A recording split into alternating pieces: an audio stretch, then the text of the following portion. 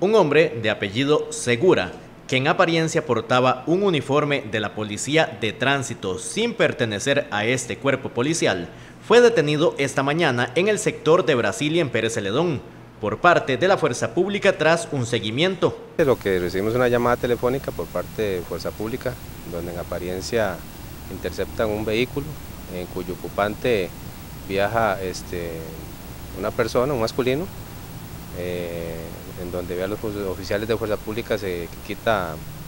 eh, una camisa blanca, que describen como que si fuera de la policía de tránsito, y este, a la hora de abordarlo, el señor eh, este, manifiesta, indica ser funcionario nuestro,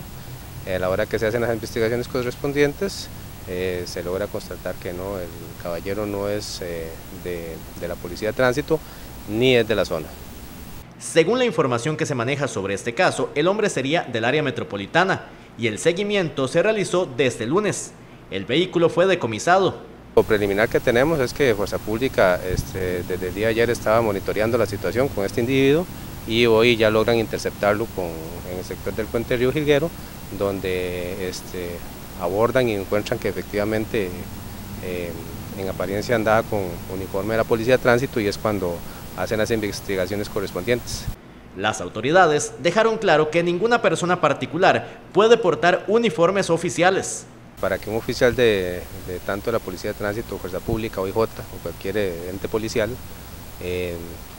porte un uniforme es porque es parte de la institución.